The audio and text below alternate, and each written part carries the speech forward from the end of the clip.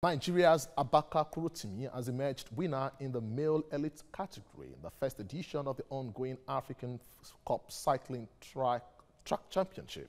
Egypt's Abid Sam Ahmad clinched the gold medal. In the female category, Ellen Osamide Ekins reports.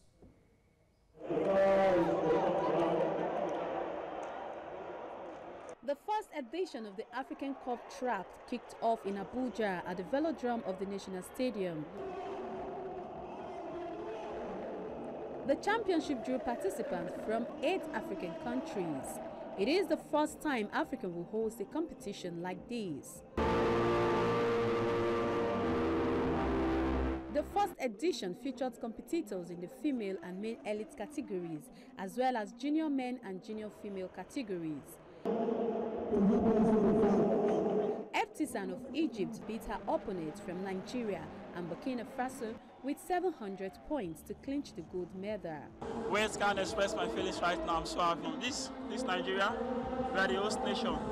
Uh, it will be of a big blow for another team to come here and beat us. They give it to me big rankings to Olympics, and uh, they saw me happy. And thank you for everything. And I, I don't have too much words for that. The African Cycling Federation says the championship has come to stay. The Africa now in the map of the world cycling. Before, no.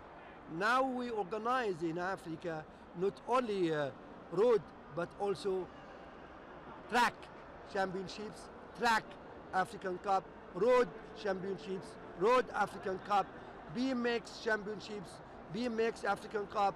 Nigeria is utilizing the velodrome 16 years after it was built and this has given it the opportunity to be the first African country to host the first edition of the African Cup track. Helen Osamede Akins, TVC News, Abuja.